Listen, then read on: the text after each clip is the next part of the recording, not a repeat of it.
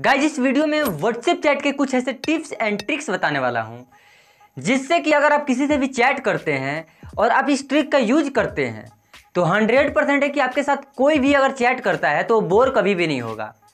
आपके हर एक मैसेज का रिप्लाई आपको मिलेगा, जो कि आप जो नहीं सोचे होंगे, उसका भी रिप्लाई मिल सकता है। कभी कभी होता क्या है कि आप अगर किसी से चैट करते हैं तो आपके मैसेज को सीन करने के बाद भी वो रिप्लाई नहीं करता है। मतलब उधर से रिप्लाई नहीं आता है, या वो कोई भी हो दोस्त यार या फिर और भी कोई। लेकिन जो मैं ट्रिक बताने वाला हूँ, इस ट्रिक का अगर आप यूज़ करके किसी से भी चैट करते हैं तो हंड्रेड परसेंट है कि आपको हर एक मैसेज का रिप्लाई मिलेगा। रिप्लाई ही नहीं, उसके अलावा उधर से भी मैसेज आएगा आपके तो आप बने रहिए वीडियो में, इन तक मैं भी सब कुछ बताने वाला हूँ कि कैसे, कौन सा ट्रिक है, कौन सा फीचर यूज़ करना है।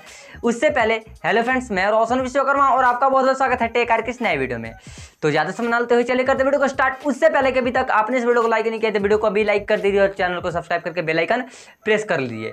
तो चलिए करते वीडियो को start trick number first guys कभी कभी ऐसा होता है कि आपके पास अगर कोई मैसेज करता है और आप उसे चाहते हैं इग्नोर करना, जैसे कि आपको कोई मैसेज कर रहा है और आप चाहते हैं उसे रिप्लाई ना दें, वो बार बार आपको मैसेज कर रहा है और लेकिन रिप्लाई ना दे, उसके साथ साथ आपका लास्ट सीन जो दिखे, वो पहले का दिखे और ऑनलाइन वहाँ पे शो ना करे, लेकिन आप वहाँ पे व्हाट्सएप यूज़ करना चाहते हैं।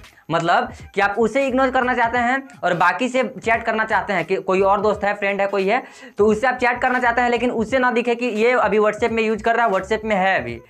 तो आप इस तरह से कैसे कर सकते हैं? बहुत आसान तरीका है, बस अपने फ़ोन में एक छोटा सा एप्लीकेशन डाउनलोड करना है। प्ले स्टोर पर जाकर के डायरेक्ट चैट सर्च कीजिए और इस एप्लीकेशन को डाउनलोड कर लीजिए। इसके बाद आपको इसमें इसका जो भी परमिशन है परमिशन अलाउ कर दीजिए और यहाँ गेट स्टार्टर पे क्लिक कर दीजिए, ठीक है? और गेट स्टार्टर पे क्लिक करने के बाद इसका सारा परमिशन हो गया अलाउ अब इसमें अब आपको कुछ करना नहीं है। अगर आपके पास जिससे आप चैट कर रहे हैं, अगर वो मैसेज करता है आपके पास तो यहाँ पे कुछ इस तरह का पॉपअप आएगा। इस पर आप क्लिक करके आप उसे डायरेक्ट यहाँ से डायरेक्ट अगर आप चैट करते हैं रिप्लाई करते हैं तो आपको वो जो अगला बंदा जो है, उसे ऑनलाइन ना दिखेगा और ना ही उसे टाइपिंग दिखेगा उसे लास्ट सीन जो है पहले का दिखेगा, ठीक है?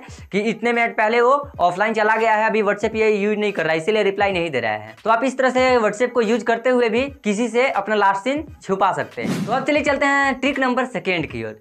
गाइज़ आप अगर किसी से भी पर्सनल चैट करते हैं, आपकी वो गर्लफ्रेंड है बॉयफ्रेंड है, कुछ भी हो, ठीक है, आपकी वो पर्सनल चीज़ है, ठीक है?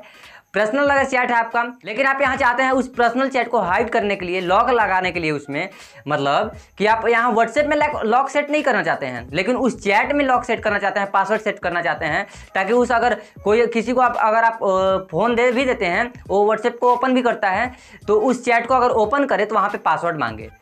तो मतलब बिना पासवर्ड के वो जो चैट है ओपन होगा ही नहीं।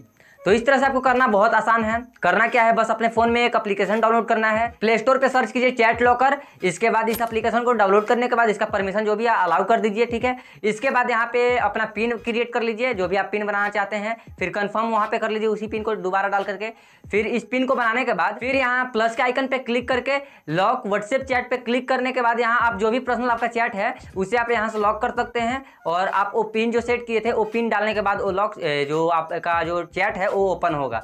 अगर आप इसे बंद करना चाहते हैं तो बस कुछ नहीं करना है, वो जो एप्लीकेशन है चैट लॉकर उस एप्लीकेशन को ओपन करना है, इसके बाद वहाँ से जाकर के इस चैट को रिमूव कर देना है। वो जो पासवर्ड जो है लॉक जो है, वो हट जाएगा। तो कहीं अब चलिए चलते हैं फीचर नंबर थर्ड की ओर, जो कि बहुत ज़्यादा यूजफुल है सभी व्हाट्सएप यूज़र्स के लिए। पर्सनली मैं बहुत ज़्यादा यूज़ करता हूँ इस फीचर को, और पसंद भी आता है। इसमें आपको टेक्स्ट स्टिकर मिल जाते हैं। जैसे कि आप अगर यहाँ पे कुछ टाइप करते हैं इस तरह से तो यहाँ पे इस तरह का दिखेगा।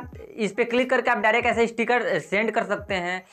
और इसके अलावा यहाँ पे आपको एनिमेटेड इमोजी भी मिलेगी। जैसे कि यहाँ पे देख सकते हैं कि जब आप दबाएँगे इसे, किसी भी इमोजी पे तो यहाँ आवाज़ करेगा या मतलब रिएक्ट करेगा।